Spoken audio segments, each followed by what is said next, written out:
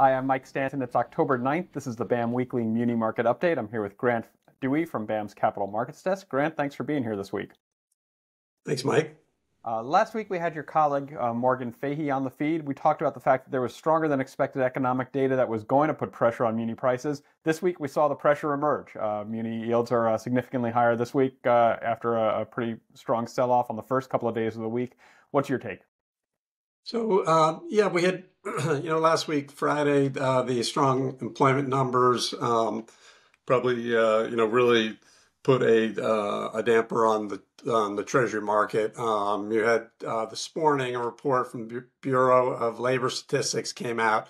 Uh, they make a uh, annually um, uh, they, they release a report that uh, makes any kind of seasonal adjustment revisions to CPI, and so came out this morning basically confirmed the progress on inflation that we were seeing in the fourth quarter last year uh, where the annualized rate came in at 3.3%. So uh, the, the market focus now is going to shift to January's uh, CPI uh, report comes out on Tuesday, and it's expected to show uh, inflation easing uh, further to 2.9%, paving the way for the Fed to cut rates, um, you know, sometimes sometime between now and June. I think the weakness that you were talking about, I think was really um, uh, I think really was the result of uh, traders kind of pushing that rate cut out uh, from March, uh, you know, to to May or June. So um, we had, uh, uh, and that, that's creating still residual selling pressure.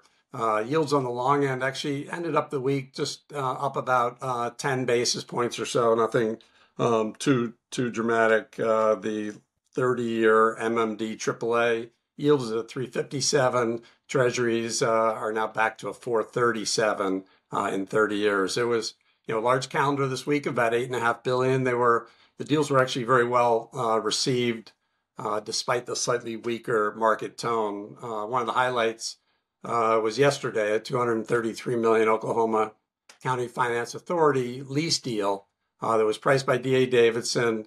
they used BAM Insurance and um, the underwriter reported uh, about a 10 times oversubscription, well over 2 billion uh, in orders, and they were able to lower yields uh, by as much as 13 basis points given that uh, strong demand. Uh, you know, they also estimated to us that there was about a 30 to 35 basis point net benefit um, to the issuer by uh, by using the insurance. So very successful deal um, as we turn to next week. I think the calendar's a little bit lighter, more in the uh, six and a half billion uh, range. So um, I think the market uh, should should hang in there. And overall, this week, in addition to those transactions, uh, BAM insured a total of $535 million of new issues, a high number uh, for, for a given week. Uh, in addition to the uh, Oklahoma transaction you just mentioned, there were uh, transactions from Grand Junction, uh, Colorado, a D.A. Davidson transaction for $62 million, and the University Area Joint Authority, a transaction that was underwritten by Ray J. Raymond James in Pennsylvania, of a sewer revenue bond transaction that also was verified as a green bond transaction under the BAM Green Star program. And a BAM Credit Insights video is available on that transaction for any investors uh, interested in taking a look.